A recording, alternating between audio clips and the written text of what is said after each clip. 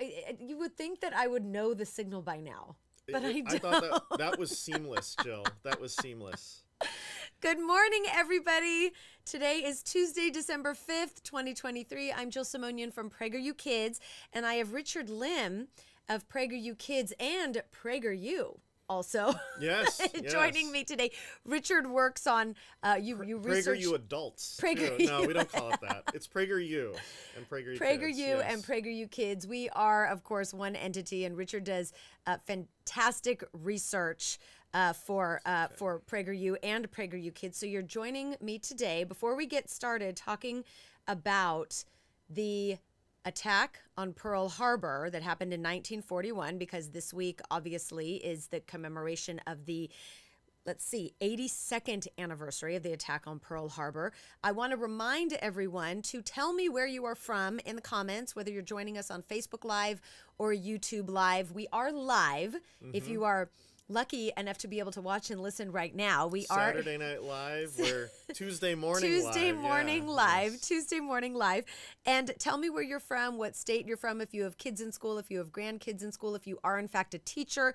We always want to know at pragerukids.com. Also, we want to remind you that you can subscribe for free to pragerukids.com on our website get all of our educational materials including many of the including all of the uh, content that we have teaching about Pearl Harbor and uh, what that attack meant to America at that time and afterwards and today on our website. Oh Have yes, and the book? book is right here. So I um I want to get into it. Tell us where you're from, and then also uh, let me know if you. Oh, I had a question here and I can't find it. Uh, let me know. Oh, let me know if you have any questions for us at PragerU Kids. Of course Yes. if you have any requests for things that you would like to see us uh, create. And we have five minute videos on uh, Pearl Harbor. Right. A five minute We do Pearl have a five-minute Victor video. Davis Hanson, who's an incredible scholar. So Yes. make sure you check that out as Great well. for high school kids and great for parents and teachers as well. So, okay, Richard, as uh, as I introduced you, you are one of our uh, you are our chief researcher Nerd. Chief here. Nerd, yes. And this week, of course, we're recognizing the attack on Pearl Harbor that happened in 1941. It took the United States into World War II. It got us involved.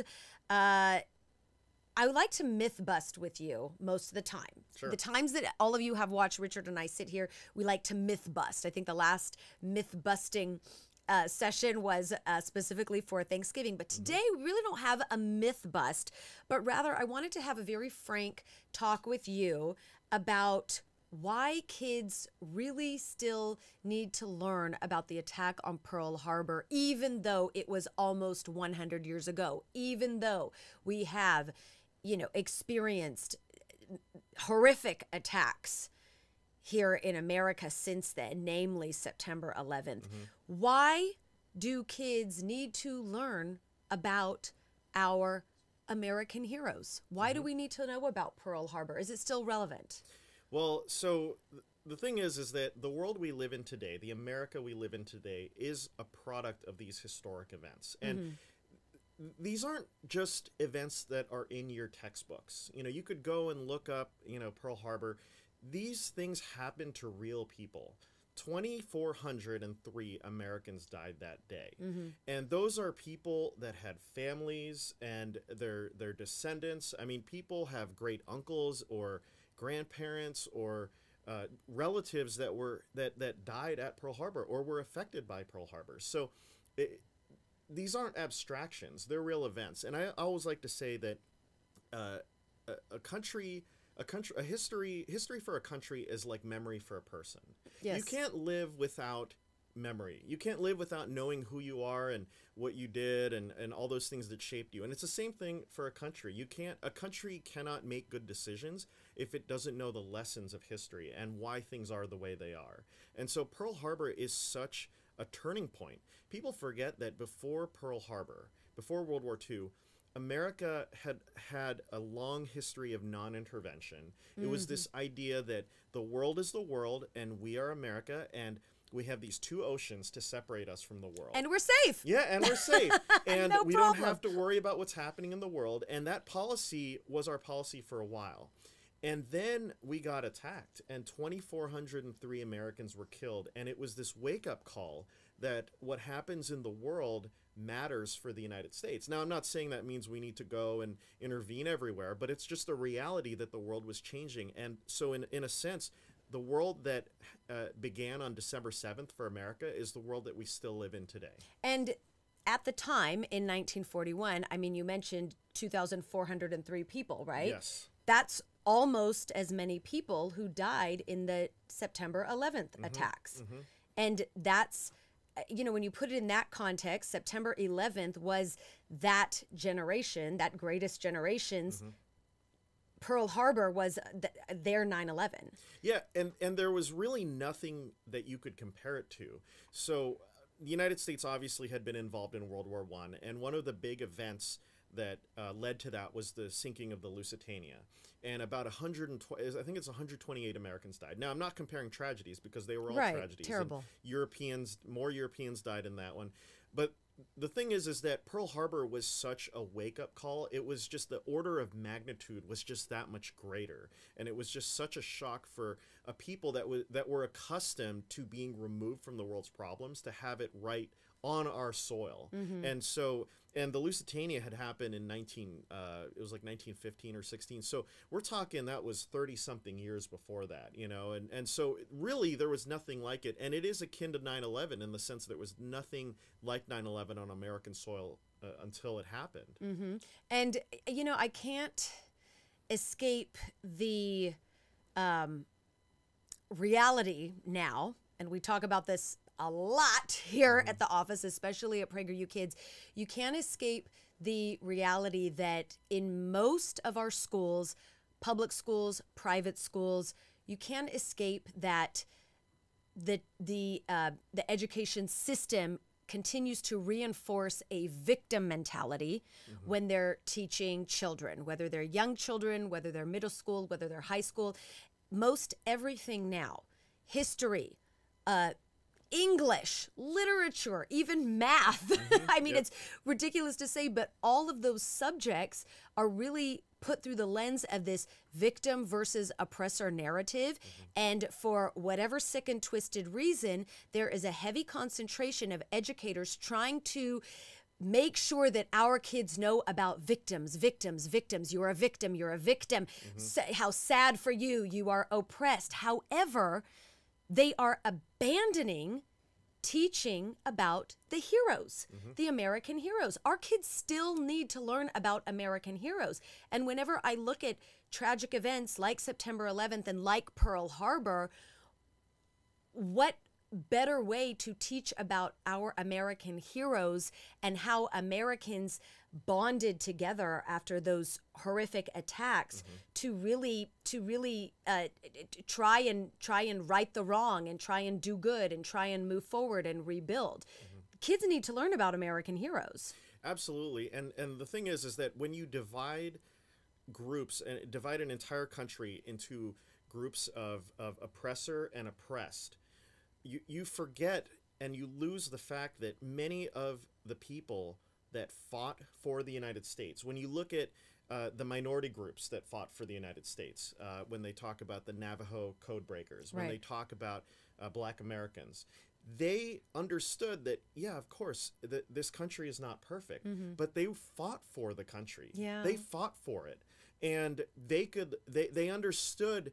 Uh, the reality of an imperfect country where you have millions of people, and yes, of course, the United States was imperfect, and that's not something anyone's denying. Right. um, but they also knew they had perspective and said this is a an, a, an evil uh, you know foreign attack on our country and they could they could see that and know that as imperfect as this country is it's it's worth it, it's worth fighting for.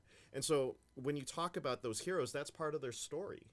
And and I think unfortunately when you look at the world as they're all defined by their status as an oppressed person and they can't possibly break out of it. They can't possibly fight for a country that has great ideals. Then you you lose all of that and Yeah. unfortunately we've lost so much of that. Yeah, I wish if you are a teacher right now watching, please, we invite you take Richard's statement that you just talked about about mm-hmm. the the oppressed fighting for a country that is not perfect to mm-hmm. make it better because look at how far we have come. We're we're still not perfect. We all Yeah, know that as Americans. yeah. We're never going to but be our perfect. ideals transcend our imperfections. to towards a more perfect union. And that's something no country has. Right, Yeah. right. Oh, so if you're a teacher, take what Richard said. Take mm-hmm. that clip of the previous, what was it, three minutes. Take it, take it. We invite you to take it and to share it with your students.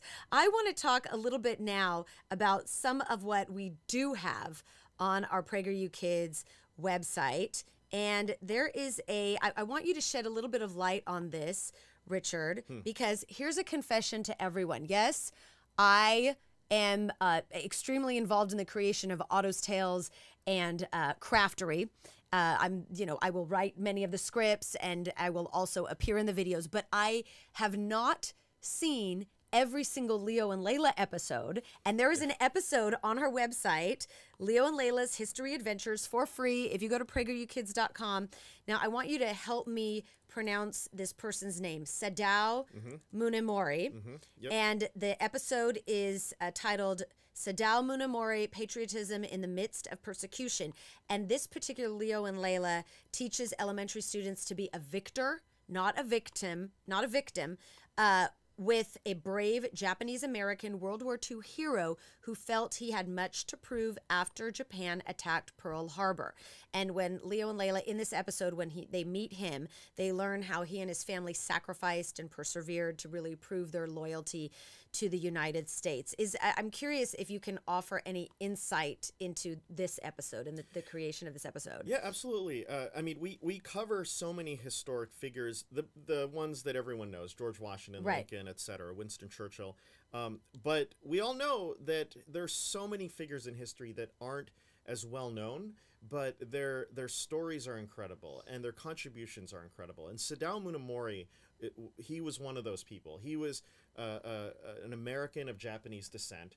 And his family was tossed in an internment camp. Wow. Uh, President Roosevelt's policy of J- uh, interning the Japanese, Mm-hmm. and uh, so you know you want to talk about oppression and Yeah. your rights being uh, violated. I mean, th- this this is what happened, and and yet he fought and he he he fought heroically during World War II, and he he died a hero. He Wow. he essentially sacrificed his own life for for uh, uh, his his comrades, and so it's really it's a story that needs to be told Mm-hmm. and we we tell those stories some people say oh you know we're whitewashing history this is just not true they they don't even know our content they Mm-hmm. Yeah. Mm-hmm. ex- they expose their own ignorance if they say that but we're we're not doing that because it's some sort of agenda this is a story people should It's a real story. it's a story that people this should is a know story of our heroes. yeah, Yes. exactly. Our heroes, and and you know, so he experienced, uh, you know, uh, things that were horrible with Mm-hmm. his family in internment camp, and yet he still fought for our country, and he represented our flag. He, Mm-hmm. he and and so if anyone wants to denigrate the flag, they're denigrating the flag that Sadao Munemori fought Oh. for, and so That just made me, yeah. yeah so so it's a great story and i hope more people learn about it and and you know his parents had uh, uh, a flag up uh, in commemoration of, of Mm-hmm. their son Sadao Munemori who who died in combat. But it's it's really an incredible story. And and there, there's so many stories like this. Again this is free on pragerukids.com leo and layla's history adventures is created for third graders through fifth graders. Although i frankly and i've said this before and i'll say it again my own knowledge of history is severely lacking. And i went to great public schools I, i'm very I, I I used to be very proud to say, oh, I got a public school education because I mm-hmm. was once a huge advocate for public education. That has since changed since mm-hmm. then, mm-hmm. you, now that you know things that you can't unsee.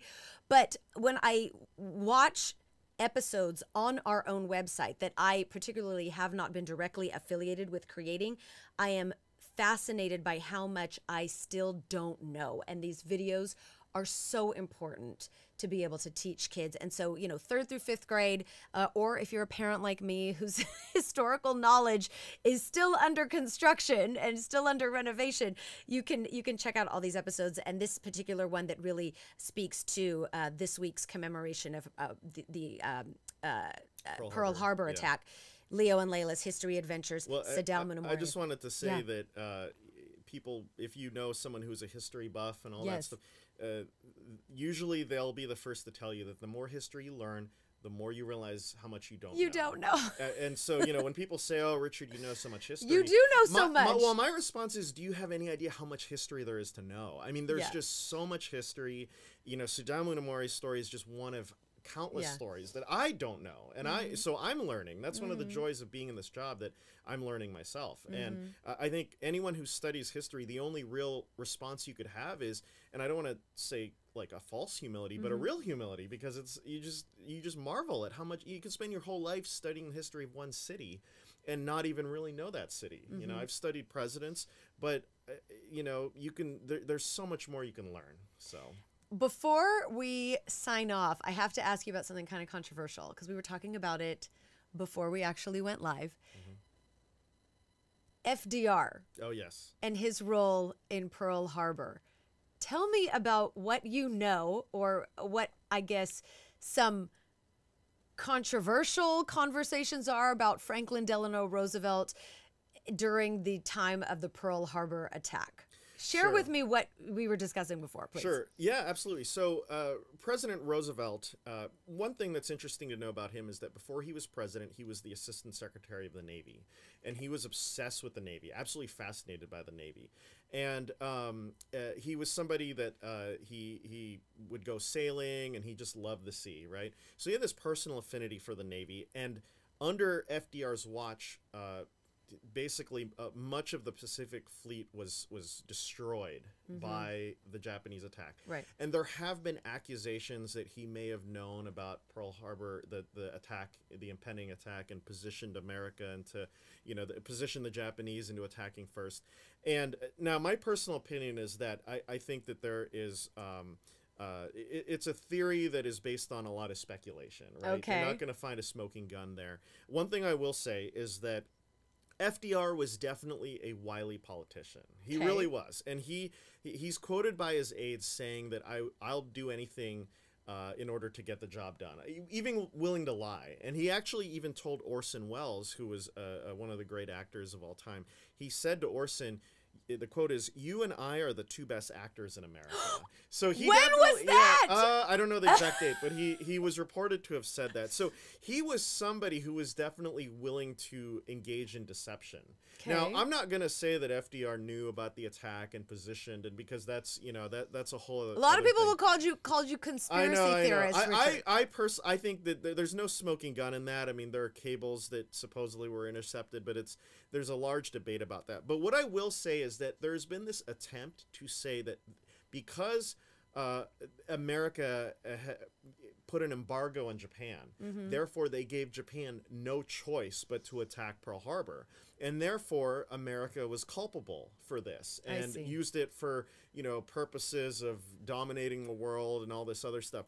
Uh, that's just not true. Okay. Um, and regardless of what FDR did, he embargoed Japan and preventing them from getting a lot of the resources that they needed to expand. Right.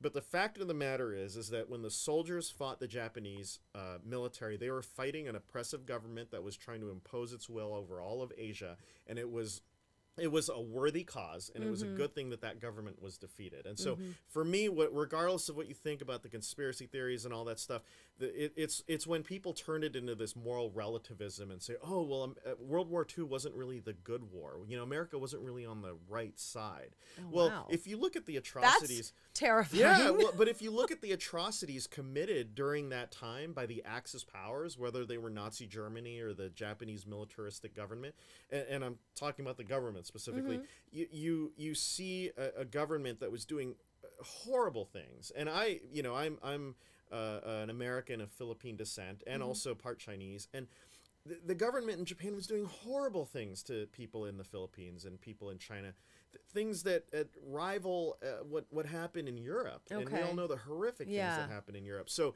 so that that's where I would always say, look, you know, whatever you think about the conspiracy theories, don't let it turn into this moral relativistic thing where oh America did this and you know regardless of what America did at the time it was it was the Japanese government that imposed uh, just horrific atrocities over what was you know over peoples in Asia, and that's that's the real story there. You you see why I like talking to him, everyone. I I always say I enjoy learning from you. And Richard, you have your own podcast called This American President. Yes, yes. On where can people find it? A- anywhere you listen to podcasts, Spotify, on your podcast app, Apple Podcasts, it's it's all over. So there, you too can have Richard Lim in your ear during the day sleep, and learn yes. something new, Yes. like we do at PragerU Kids. Thank you so much. Before we go, I want to see if there are any comments. Like I said, today was sort of just a history lesson for all of us trying to figure out the best way to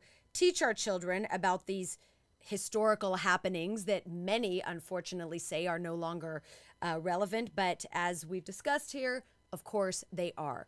Pearl Harbor was a horrific attack on America. It got us involved in World War II. It is definitely something worthy of teaching and in in motivating students to learn more about so that we can have a common knowledge a common cultural literacy a common uh, bond between all of us as americans regarding fighting uh, fighting evil and making the world better and coming together to rebuild Could, could I have just Yes. one more point? One more, I was going to say, uh, as a bookend to what happened in World War II, Mm-hmm. um, when the uh, if if you go visit, first of all, I, I think every American should visit the Pearl Harbor National Yes. Memorial. It's an incredible place. I have. Um, it's very poignant. Uh, I mean, it's a resting place. Uh, for there were 1,177 uh, sailors and Marines that died on the SS Arizona, and Mm-hmm. the hull is underwater, and you can go and you can pay respects there.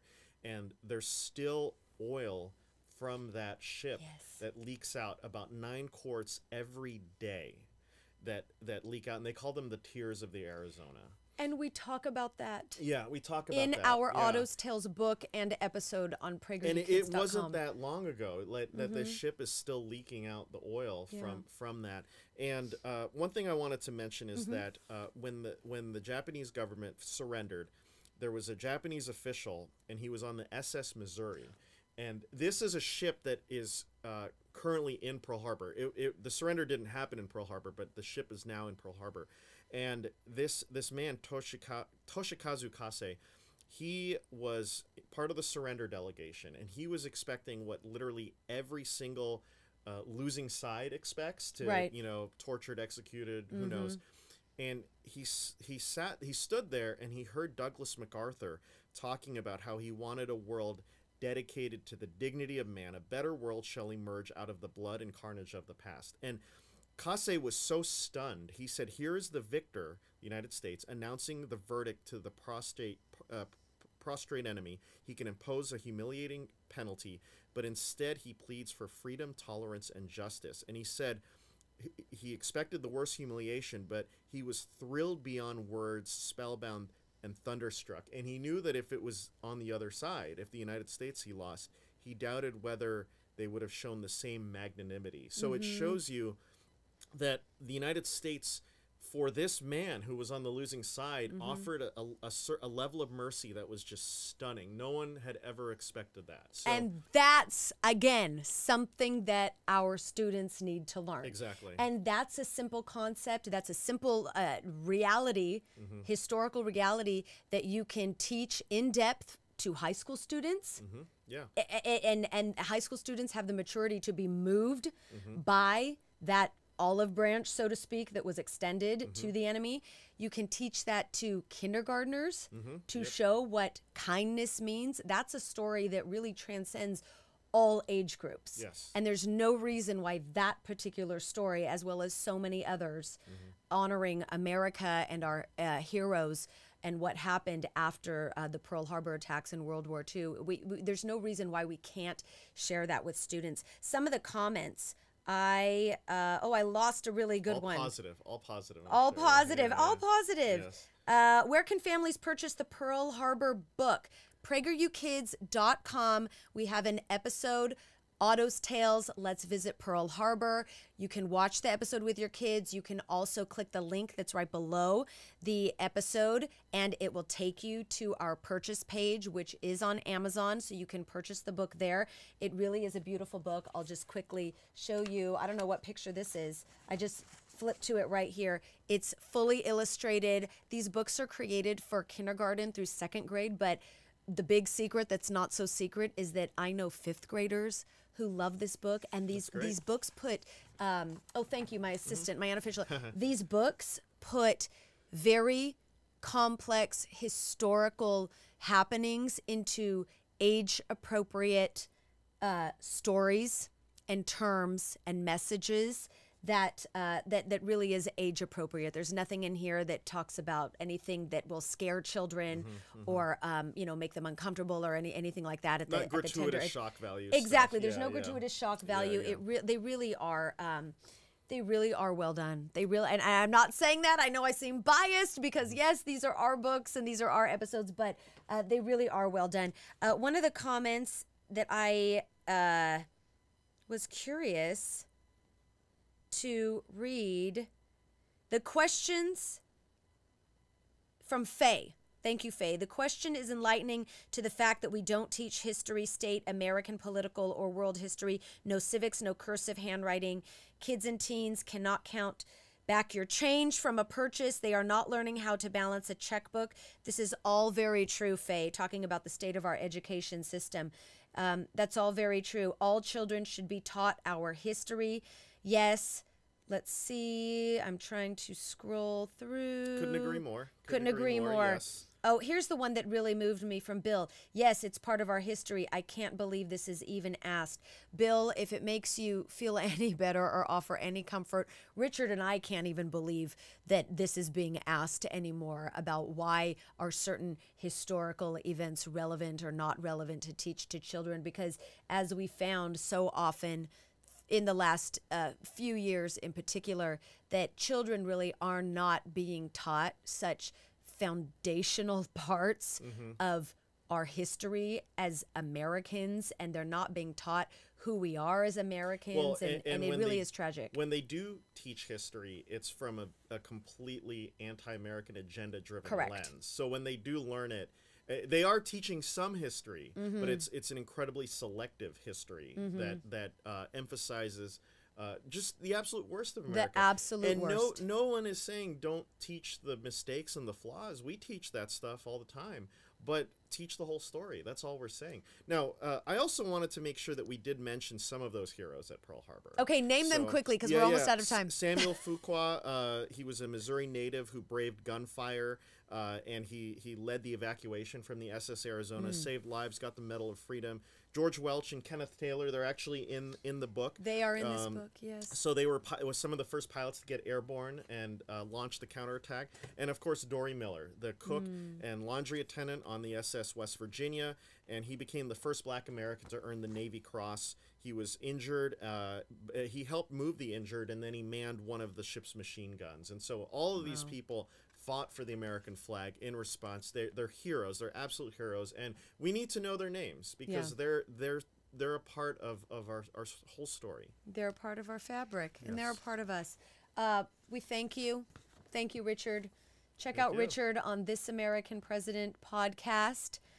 Check out pragerukids.com, giving you resources to help fill in all the gaps that are lacking about teaching history um, and, and, and really uh, d- d- d- teaching kids to honor America through our faults, to find the good in in our um, in our history and how we rebuilt after destruction, and how Americans came together after tragedy. We thank every single one of you who's our supporters, all of you who are serving in the military, all of you who had family members, grandparents who served in the military, maybe fought in World War II, fought uh, at Pearl Harbor.